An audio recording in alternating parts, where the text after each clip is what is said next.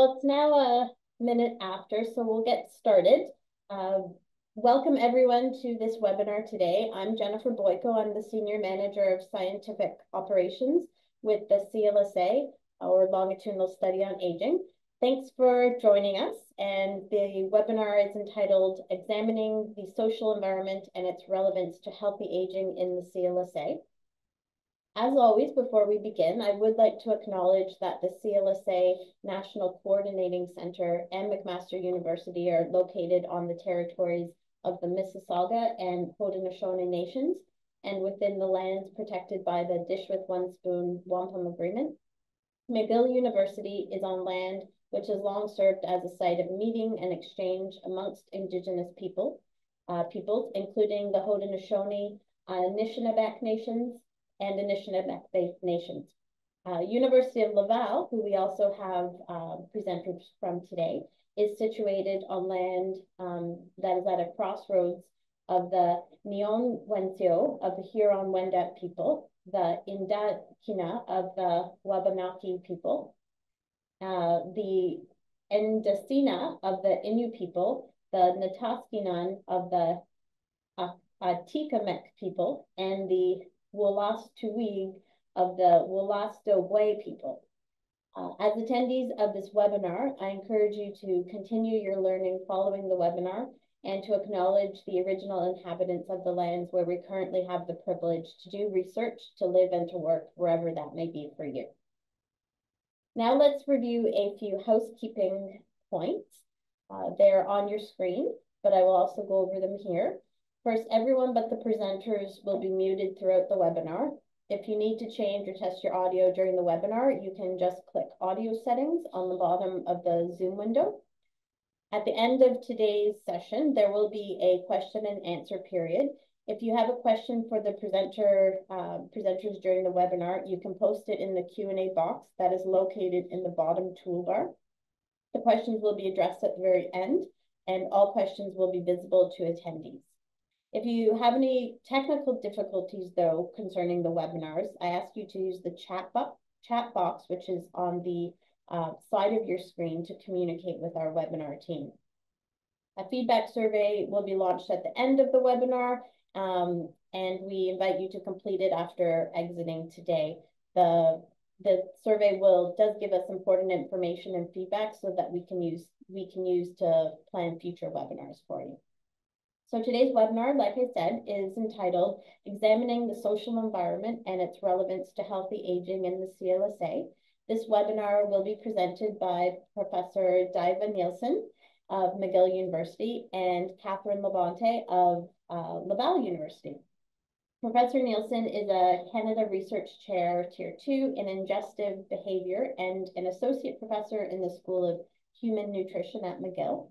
Her research examines diverse biological and social factors that relate to eating behavior and health.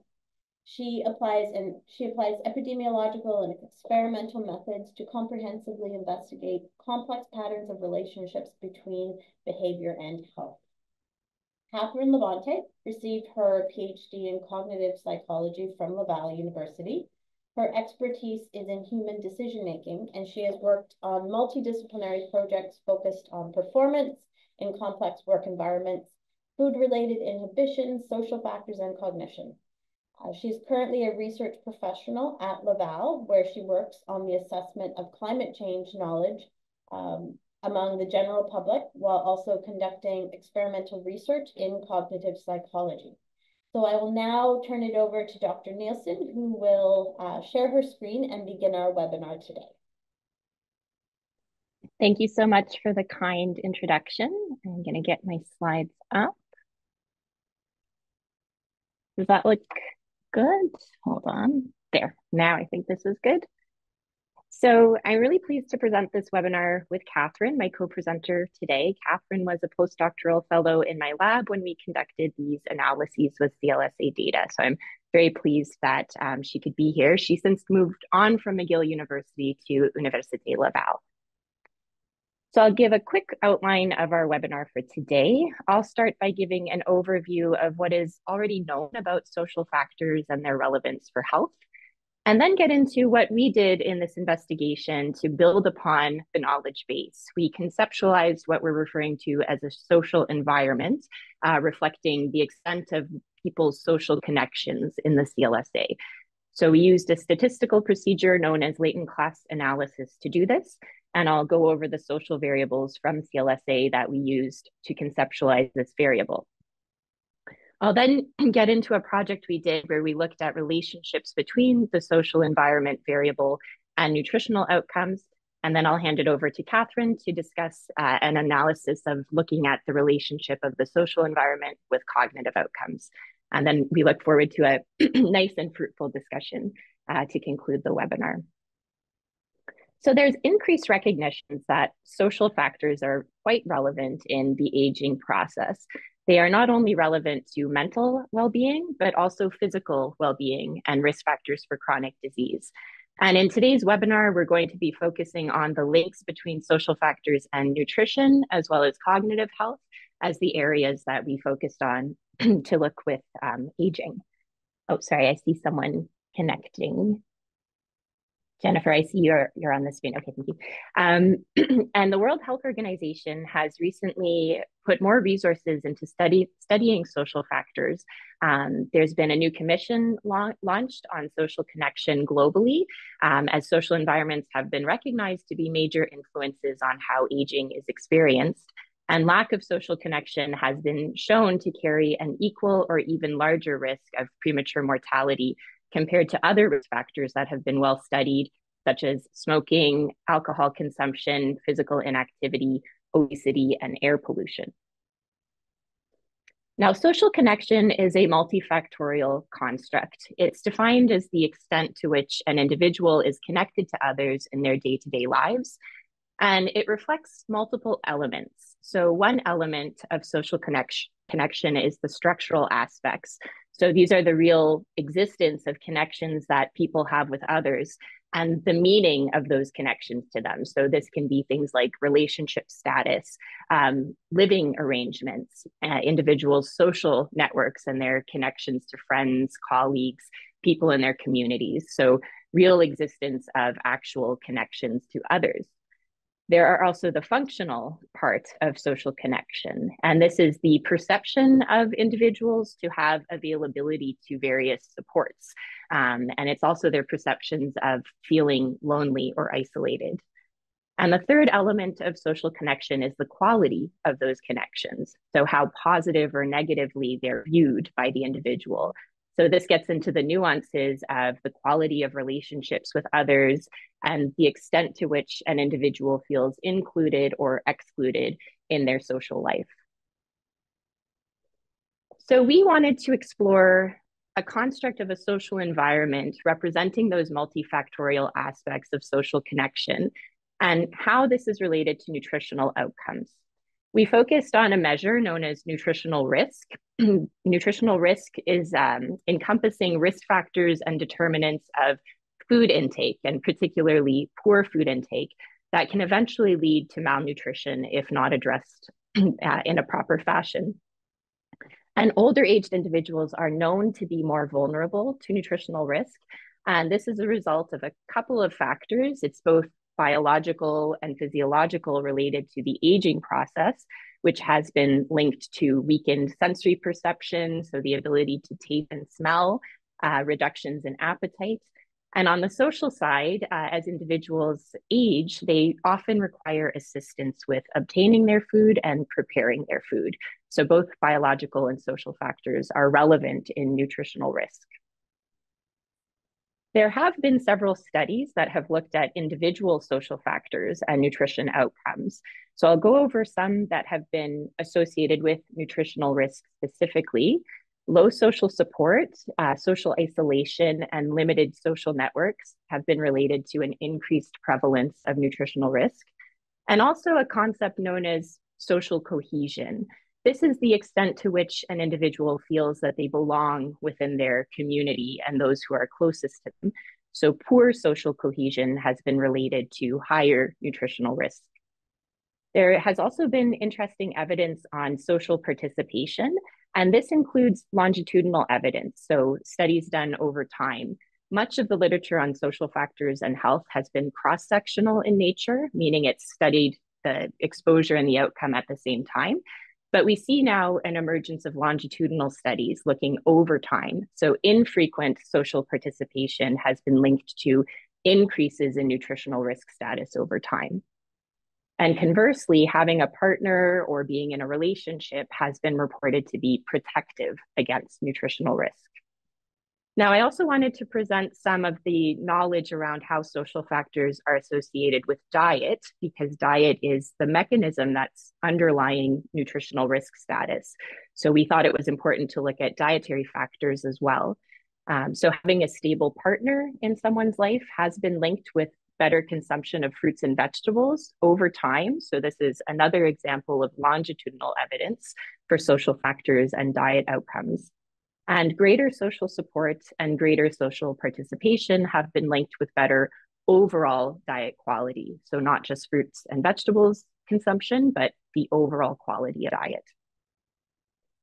So, it's clear that social factors do have relevance for nutrition and for a variety of other health related outcomes that are linked to aging. However, most previous research has investigated social factors individually but social factors exist as a combination of different aspects. And so in this work, we really sought out to try to conceptualize a social environment that reflected multiple individual social factors that are relevant to this concept of social connection. And we wanted to see if this aggregated social environment variable could provide novel insight into how social factors are relevant for aging.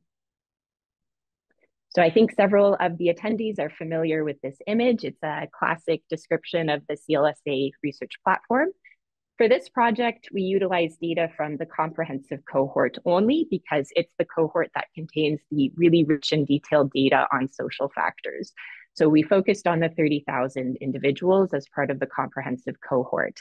And we'll be presenting results that worked with the baseline data from CLSA, but we do have plans to continue our work with the longitudinal data and incorporate the follow-up information. So to derive our social environment variable, we conducted uh, something known, known as a latent structure analysis. That's the general term to describe this type of an, anal an, an analytical approach. This is a person-centered approach that looks on patterns of responses from individual participant data, and it's often from survey data. Now, to do this, the investigators need to identify a set of indicator predictor variables that you use in the modeling. And these need to be correlated variables. So they're separate variables, but they are related to one another. So in our case, we had multiple separate but related social variables. And what a latent structure analysis does is it identifies underlying subgroups in the data that are considered to be latent or hidden so the concept is that this latent variable can't be directly measured from the data that has been collected, but it can be estimated indirectly through those indicator predictor variables. So this latent variable can be predicted from the indicators that have been collected in the data. And then when you run the latent structure analysis, a number of classes emerge. So I'm using the term latent class analysis. That was the specific form of this analysis that we conducted because our indicator variables were categorical in nature. so this statistical approach has a couple of different terminologies depending on the structure of those indicator predictor variables. So in our case, our case, we were working with latent class analysis. So this latent variable emerges from the analysis is separated into a number of classes that are representing distinct groups of the participants. And the number of classes that emerge is a choice of the investigators. So we analyzed a combination of different class models to look at the best fit for the data. And I'll get into the best fit that we chose. But first, I'd like to go over those indicator variables that we worked with. We had seven indicator variables, but in total, they represented 24 countable survey items from the CLSA. Now I say countable because in actuality, in actuality, about 40 variables were used, but some of them had been previously collapsed into derived variables. So we had 24 countable variables that we fed into our latent class analysis. And they were combined into seven groups reflecting the following social factors. So we had network size, which was representing the number of individuals related to a participant that occupied meaningful relationship roles. So things like the number of close friends and the number of close family members. We had a social isolation index that we modeled based off of previous work conducted with the CLSA. Uh, and this is an index that looks at objective measures of linkages in one's social networks. We also had social cohesion. This is a concept of how someone feels they belong within their community. Uh, so things like reciprocity, altruism, shared norms and values within the community. And we had four measures of social support, and these come from the Medical Outcomes Study Social Support Survey. And there are four uh, support subscales that were available in the CLSA data. So these were related to participants' perceptions of emotional and tangible supports, affection, and how quality, uh, how positive or negative their social interactions were perceived to be. So in total, these seven indicator variables that we utilized reflected those three elements of social connection that I described earlier. And to identify the ideal number of classes that uh, represented our data the best, we utilized predetermined criteria for latent class analysis as described in the literature. And so we looked at a two class, three class, and four class model, and we compared metrics that indicated the goodness of fit, um, how well participants were separated into the emerging latent classes, and the likelihood that individuals uh, had a probability of being assigned to the classes that emerged. And so when we looked at those criteria, it was quite clear that a three class model best represented our data. And so these are the classes that emerged. I'll be referring to them as social environment profiles as we go forward because we felt that social classes wasn't really the right term for this project. So we're using social profiles. So we had three profiles that the latent class analysis recognized. And we referred to them as weaker, intermediate, and stronger profiles. And this represented the level of social connection in the CLSA data. And what the 3D plots are showing on the x-axis is our indicator variables, the seven variables I mentioned. The z-axis is the categorical value for the variable, and the y-axis is the number of participants that fell into those categories. So in general, a higher score for these values is representing higher social connection. The exception is for social isolation.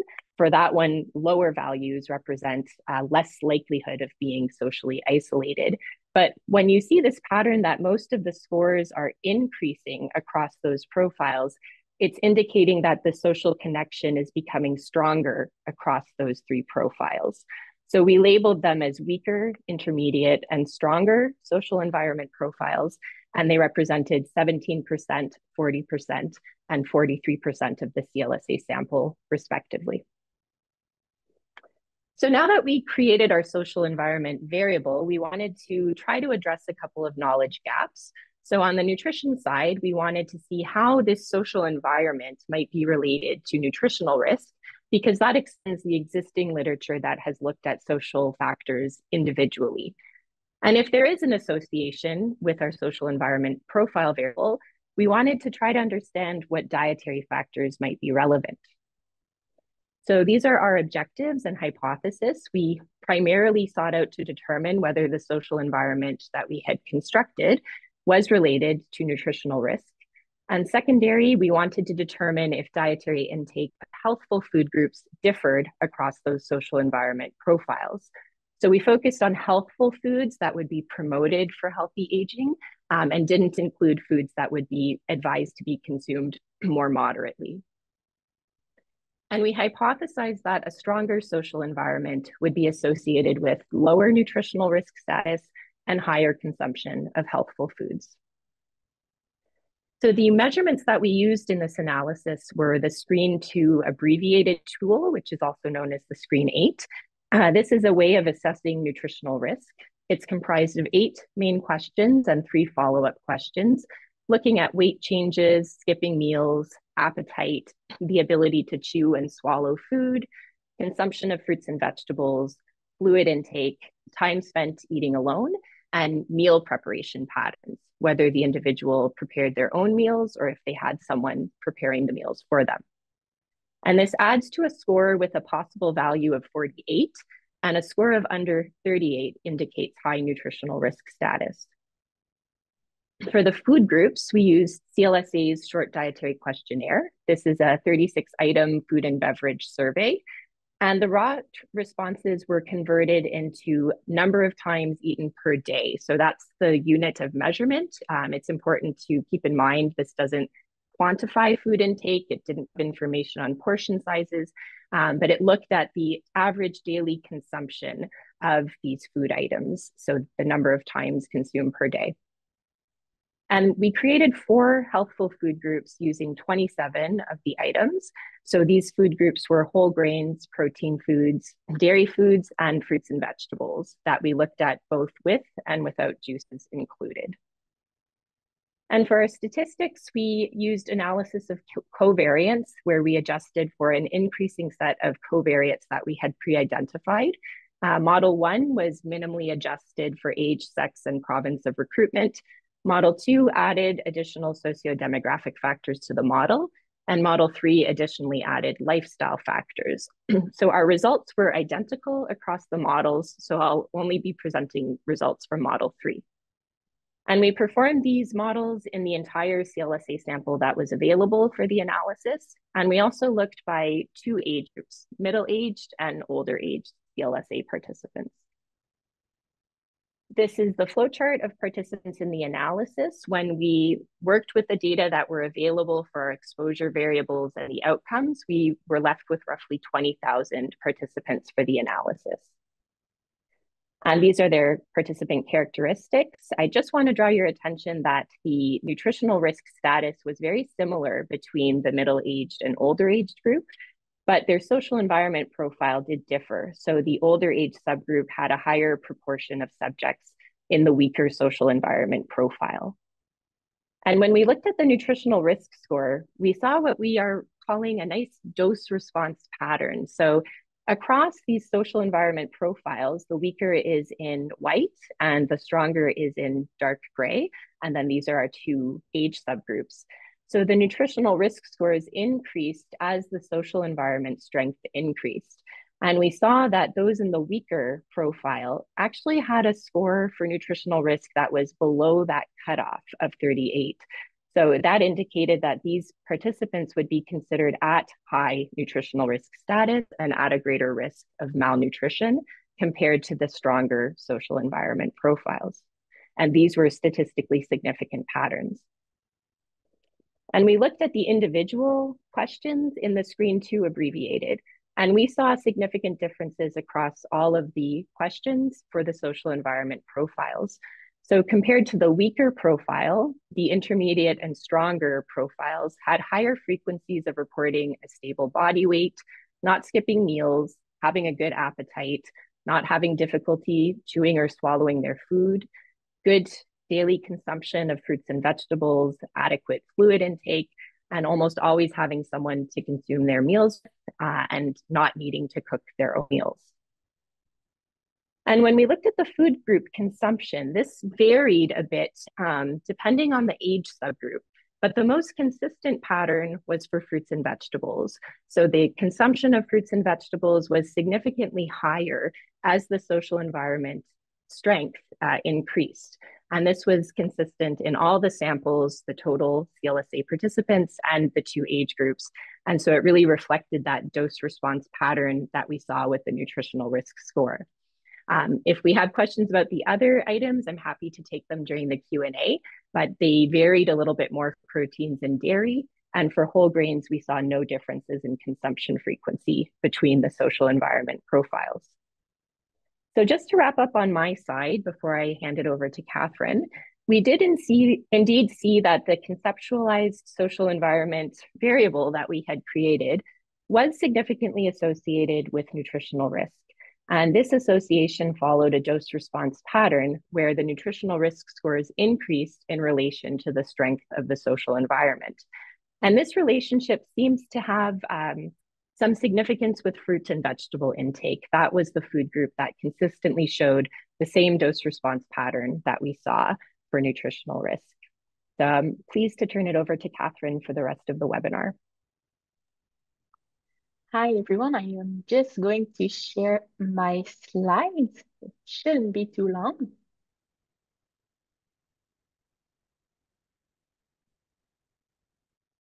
So do you all see my um, my slides on the screen?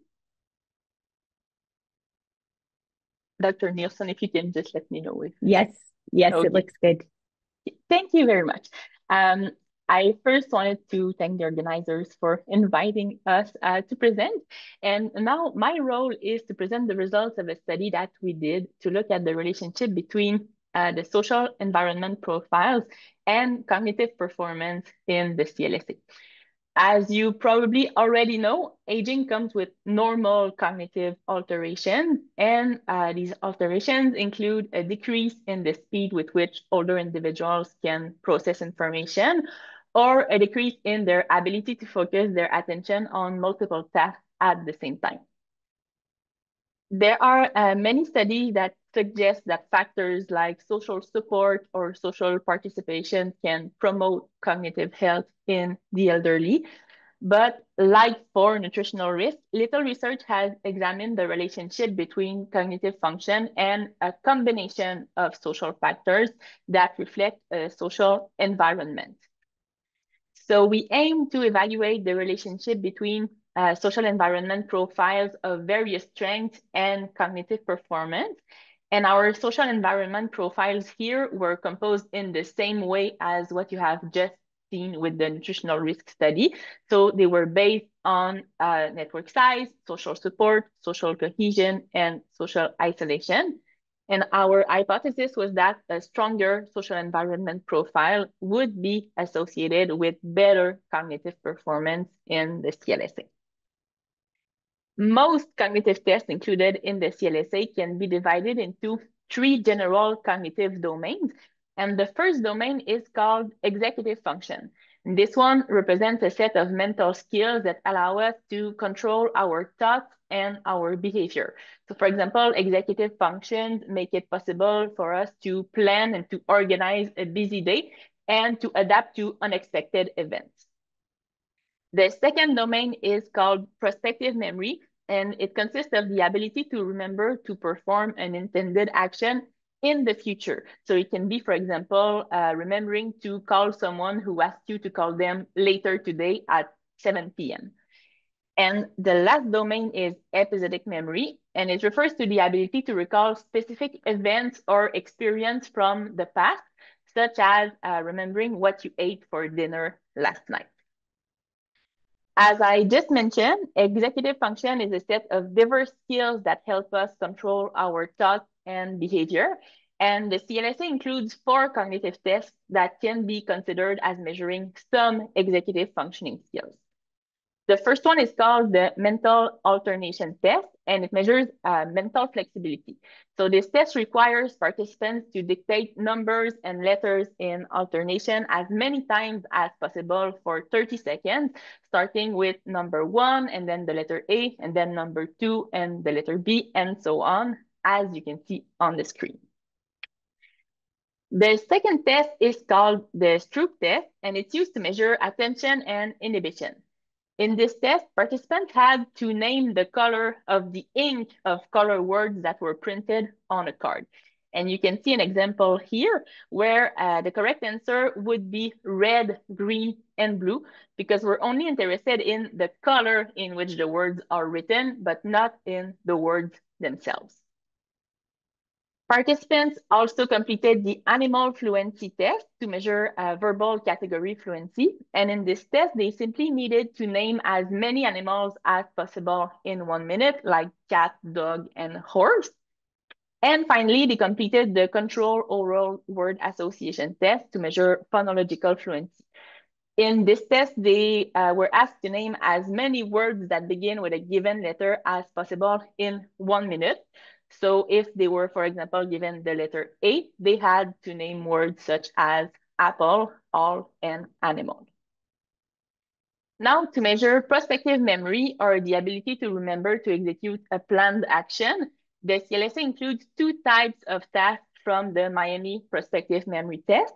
And the first one is called an event-based task, which means that uh, participants had to remember to do something when a specific event occurred.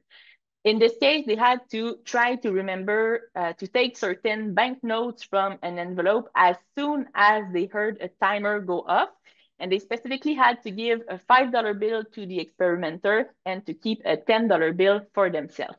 And they did not know that the timer would go off uh, exactly 30 minutes after the experimenter gave them the instructions.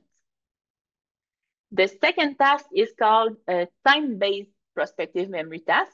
And this means that this time, this time participants had to remember to do something after a predefined period of time instead of after an event. So in this case, they had to try to remember to give the experimenter a specific card from an envelope exactly 15 minutes after being asked to. And for this, they had to monitor a clock. And uh, finally, the CLSA includes a short version of the uh, Rey Auditory Verbal Learning Test. And it's used to measure episodic memory, which is the ability to recall specific events from the past. And in the test used here, participants first uh, listen to a list of 15 common words like uh, coffee, school, and moon. And immediately after hearing the list, they were asked to try to recall as many of those uh, 15 words as possible. But the test also included another step where participants were asked to try to recall the words five minutes after hearing the list. So they had to do their best to recall the words that they had heard a few minutes before. Each of the tests that I just presented was associated with its own performance indicator.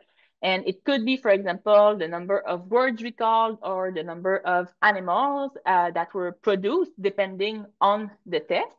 And to bring the results of each test on a common scale, we transform them into z-scores.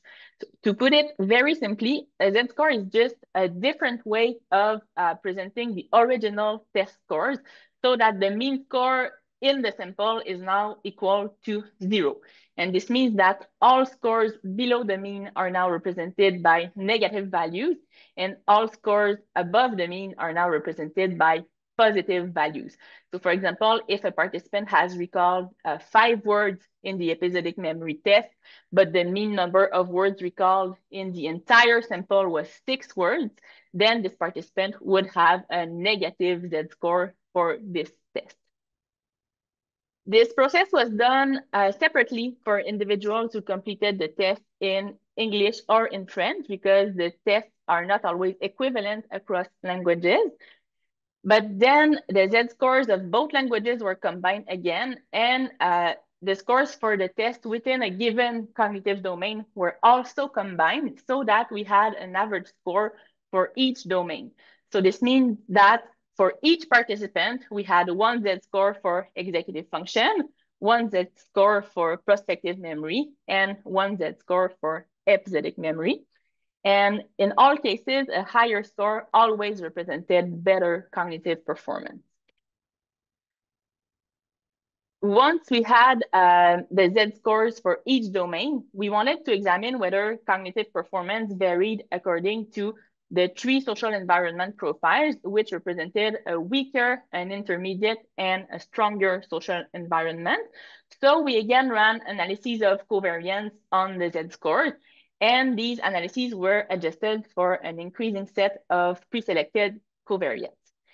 In the first statistical model, we only adjusted for sociodemographic factors like age, sex, and education. In model two, we adjusted for those same variables, but we also added lifestyle factors uh, like alcohol consumption or sleep time. Then in model three, we, we added mental health factors like the history of anxiety or uh, mood disorders. And in model four, we also added general health factors like the number of uh, chronic conditions and comorbidities. For the sake of time, I will only show the results of the fully adjusted model in the presentation, but I can already tell you that the pattern of results was very similar across model, sorry, across models. As you can see here, uh, the study sample was composed of all CLSA participants at baseline. But as you can see on the top right, we excluded participants who had incomplete data for the social environment or uh, cognition-related variables, who did not complete uh, the all cognitive tests in the same language, or those who had a medical condition that was likely to impact cognitive functioning, like dementia or Alzheimer's disease. And this left us with nearly uh, 20,000 participants but some were excluded from the analysis due to missing data on the covariates that were included in each model. So our final sample in uh, model four included ne nearly 19,000 participants. Here, I quickly show you some of the sociodemographic characteristics of the sample, which tended to differ between the social environment groups. Um, to give you just a few examples, the weaker social environment group was slightly older than the intermediate group, which in turn was slightly older than the stronger social environment group. The level of education also tended to increase with the strength of the social environment. Another example is that uh, the weaker social environment group included a smaller proportion of Caucasian individuals than the other groups. But even though our groups differed in, term, in terms of uh, sociodemographic characteristics, we controlled for these variables in the analysis, as I mentioned before. So this allowed us to compare cognitive performance across the three social environment profiles as if participants all had uh, similar sociodemographic characteristics. Here, you can see the results of the analysis. And the graph illustrates the Z-score for each social environment group and each cognitive domain with executive function on the left, prospective memory in the middle, and episodic memory on the right. I remind you that a Z-score of zero represents the mean score of the entire sample for a given cognitive domain. And it's represented by the horizontal line on the graph.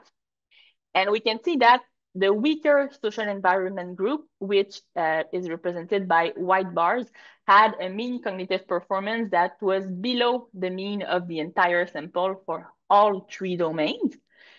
The intermediate social environment group uh, is represented by pale gray bars, and their average performance was very close to the mean of the entire sample for all three domains. And it was even exactly on the mean for executive function, which is why we do not see a pale gray bar in this case. And uh, the stronger social environment group, which is represented by dark gray bars, had a cognitive performance that was above the sample mean for all three domains. The differences between the three social environment profiles were statistically significant. So this means that the stronger social environment profile had a better performance than the intermediate group, which in turn had a better performance than the weaker social environment group. And this was true for all three cognitive domains. But I have to say that the differences between the groups were rather small. To summarize, our results showed that performance on cognitive tests increased with the strength of the social environment, and this was consistent with our hypothesis. And this was true for the three cognitive domains that we tested. The differences in cognitive performance that we observed uh, were small, so they did not amount to very large differences on the cognitive tests. But I wanted to mention that when comparing middle age and older age individuals, we can see that effects tend to be larger for older individuals. And I did not have time to present these results today, but this could mean that the social environment plays a greater role in cognitive performance among older adults.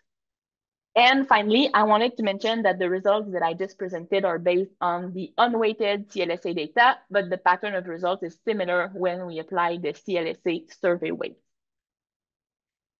It's now time for me to give you a brief overview of some strengths and limitation of our two studies. And one of the strengths of our project is that we conceptualize the social environment in an exhaustive manner by considering network size, social support, social cohesion, and social isolation. And we focus on the connection with other individuals to define the social environment. But we acknowledge that other factors like financial support um, or governmental support could be considered as part of the social environment, depending on how it's defined. Also, the social environment data was self-reported so there could have been inaccuracies in participants' responses due to uh, social desirability, or even just because participants could have had difficulties recalling the social encounters that they had in the past few months. One limitation uh, specifically related to the nutrition analysis is that we measured the frequency of consumption of healthy food groups, but we did not assess portion size. So even though frequency of consumption was generally lower in the weaker social environment group, we're not able to determine whether their intakes were insufficient.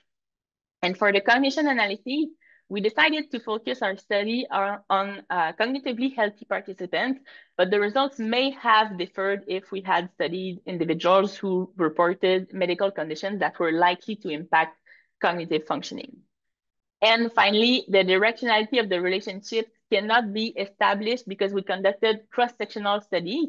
So for example, our results might suggest that social factors can help maintain cognitive function, but the association could also be reversed and it's possible that having poorer cognitive health might instead lead individuals to withdraw from social life. In conclusion, our studies showed that a stronger social environment is associated with less nutritional risk, with more frequent consumption of certain healthy food groups, and with better cognitive functioning.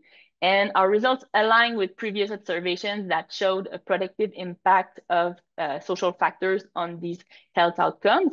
But our studies also expand the current body of research by uh, suggesting that the relationships between social factors, nutritional risk, and cognition also hold when we consider multiple social factors in combination. And finally, we just want to thank all collaborators and trainees on the project.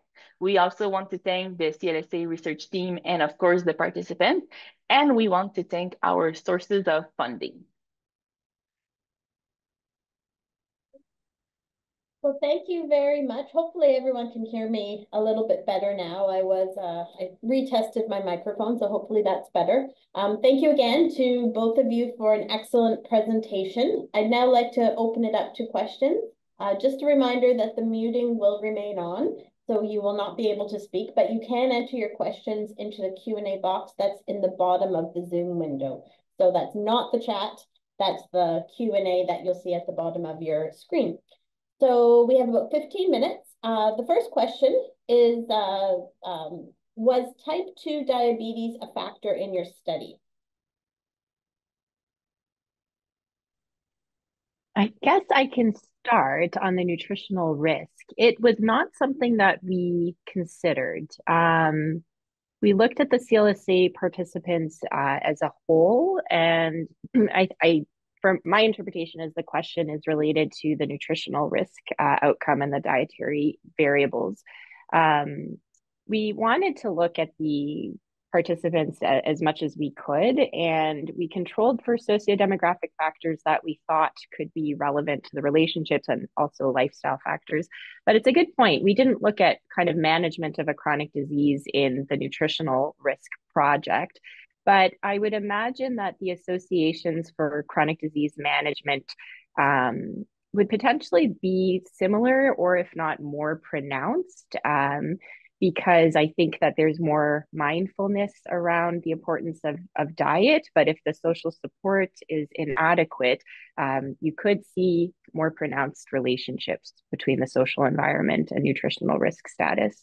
So, a nice question. We could certainly explore it more on the nutritional risk side. Um, Katherine, I think, took into account the chronic disease uh, factors with cognition, correct? Yes, and sorry, I had to uh, stop sharing because I couldn't see our all our faces. Um, but if I need to share the slides again, I will share them. So yes, uh, diabetes was part of uh, the chronic conditions that we controlled for in our final uh, statistical model. Uh, so the next question, did your team or teams consider multiple imputation to handle the missing data rather than exclude these individuals with missing data?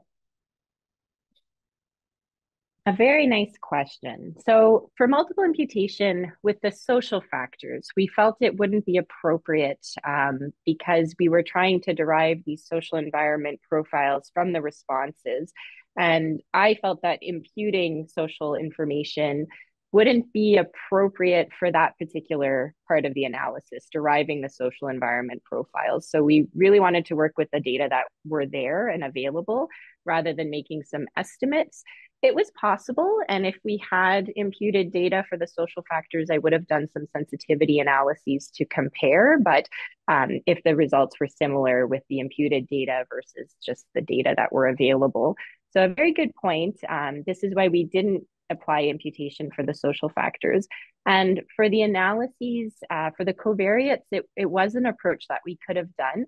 It was more of a time sensitivity. We had trainees involved in um, the project, and it just seemed more feasible to work with data that were available. Um, so that was the reason why multiple imputation wasn't uh, applied for the analyses, but it's a good point and something we can try to incorporate into future work, especially looking with the longitudinal data um, and of course, it is a limitation. There could be some bias introduced into our findings as a result of some missing data. But fortunately for the covariates, the proportion of missing data was rather low. Our sample sizes were reduced primarily because of missing information for the social factors. So I hope that answers the question. Katherine, would you like to add anything further? No, I think you mentioned everything. Yeah, and same for the cognitive ones. I think imputing cognitive results, uh, we'd feel a little uh, uncomfortable with that for the cognitive project. But again, if we had done it, we would have done sensitivity analyses to look at the comparison of findings. Um, so a couple more queries about the analytical approach. Uh, how, so those sort of three questions, how, how were respondents assigned to the latent classes? Uh, was it based on the highest probability or class membership of class membership? And what was the value of entropy in the best fit latent model? I have a supplementary slide. Katherine, maybe I can ask you to share. Is that okay? Uh, I'm going to tell you the slide number in just a second. It's 47. So it was the highest probability that was used to assign the participant to the corresponding latent class. And the slide should show the metrics that we used. Just get it up in a moment. Perfect. Thank you. Uh, so this is showing the summary information that we evaluated for um, assigning class membership and determining the optimal number of classes. So the three class model, uh, what we look at is lower goodness of fit values. So the AIC, A1, AIC, BIC, and chi-square goodness of fit, they were lowest in the three class model. Our entropy value around 0.83 um, was kind of intermediate, but because our between the three options, but because our goodness of fit was the lowest for the three, and our posterior probabilities for the three class model were superior to the four class model. So these were the metrics that we used to assess the optimal number of classes, and the three class model was really the, the clear choice um, that provided the best representation of participants. And so it was the posterior probabilities that was used to assign class membership. Hopefully that answers that uh, question. Uh, the next question is, I would like to know if you consider disabilities such as vision and hearing amongst older adults that affect their cognitive status. Um, and Kathy Pichora-Fuller noted that more specifically, uh, both social and nutrition profiles may mediate the known associations between sensory and cognitive decline. So um, I think reinforcing the, the inquiry of the question. Uh, let me just go back to my notes because for the covariates used in the analysis, uh, we really based our choice on uh, previous studies. Um, so no, there is no, uh, mm, they were not considered uh, as a covariate, but of course it would be a very good thing to add them. A couple more follow-up questions. Were there sex-related uh, differences or did you disaggregate by sex? It's a good question. We did not disaggregate by sex. It was controlled for in the analyses, but it is a future direction. Um, the focus of the work was more on age to look at age separation, the middle aged subgroup and the older age subgroup of participants. Um, and we did see more pronounced associations in the older aged. But it is possible that there could be sex differences as well. Um, we didn't explore it in the present work. We were a little bit um, concerned over multiple testing. We did adjust our p values to reflect um, multiple testing. So our threshold was uh, less than 0.01 for statistical significance. Um, and so we kind of stopped with what we had done, but of course it would be interesting to explore sex differences and in subsequent work, it's something we can examine. I'm trying to think if there could be, I, I feel like there probably would be some sex differences. It's hard to hypothesize the directions. Like I, I want to kind of say that men might be more vulnerable to nutritional risk if they don't have adequate social support, but it's um, I, would have to explore it a little bit more. The literature does seem to suggest that uh, having a partner, so being in a relationship, seems to be quite an important social factor. So um, it would be interesting to examine sex differences and relationship patterns. And for cognition, maybe Katherine, I don't know if you could comment on possible sex differences you might anticipate. Well, there generally eh, are not uh, much differences. Um, per perhaps uh, women could perform better in what is more related to verbal cognition, whereas men male tend to uh, perform better in visual spatial um, cognition, but it's uh, sometimes pretty small differences. And in general, I would say no difference would be expected. But uh, for the cognition analysis too, we did not compare um, males and females, and we only uh, used sex as a covariate in the analysis. The next question is, is chronic pain a variable in the CLSA, CLSA data, and is that factor considered in the comorbidities um, chronic conditions for your models? Do you want a very good question. I, I believe chronic pain is available, yeah. Katherine. Are you yeah, I, I didn't have it in the nutritional re results, but I, I can see the relevance for the kind of physical aspects of, of chewing and swallowing. Um, it would have been an interesting one, I think, to include, but we we didn't. Katherine, do you want to add for your project? Yes, uh, we did not include it in the cognition analysis either. Uh, so I think it would be uh, interesting to include it, but what we had was more um, diseases like high blood pressure or um, uh, bronchitis or really, um, let's say, specific diseases, but not uh, chronic pain, which can be uh, related to many diseases. Uh, we had, however, functional ability, so the ability to live and function independently, independently sorry, in society, but we did not have uh, chronic pain uh, itself. Okay, and uh, next one, was there a healthcare policy uh, or recommendation to change based on your findings? I, I, is it correct to interpret changing on the social environment aspect? I think that's my interpretation. Hopefully, I'm I'm correct there.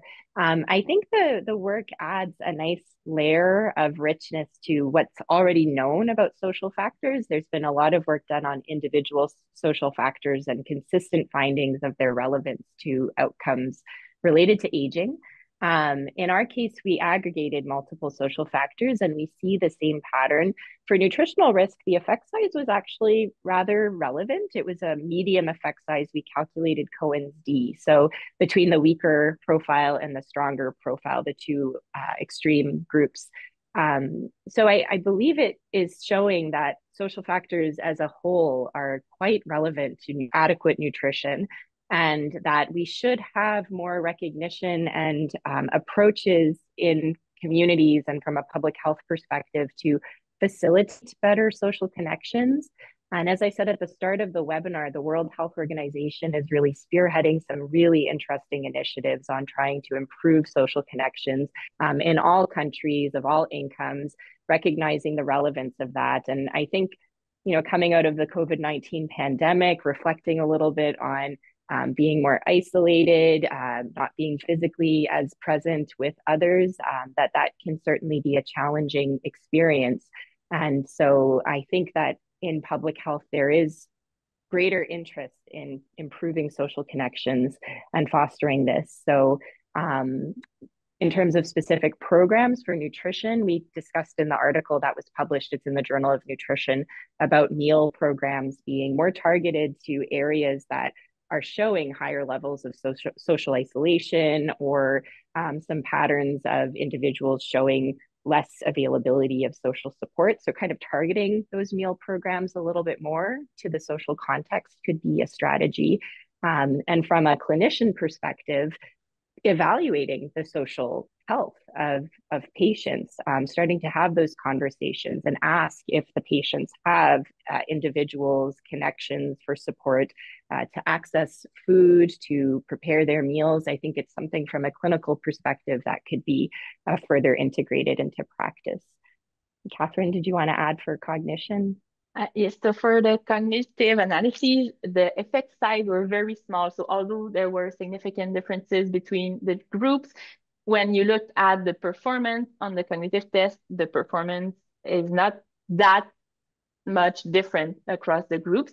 And um, I think further studies would be needed before uh, making any uh, public health recommendation. And it would also be interesting to perhaps see the influence of the social environment in relation to other factors that are known to be related to cognition. For example, see if someone has a, a genetic predisposition predisposition uh, for uh, some cognitive uh, disease.